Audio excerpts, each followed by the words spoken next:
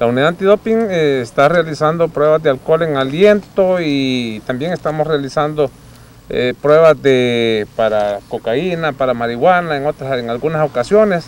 Lo más frecuente es que estemos realizando pruebas de alcohol en aliento, ya que eh, es lo que vemos que está que, ha subido un poquitito el consumo de las bebidas alcohólicas para una persona que ha salido este, con conducción peligrosa.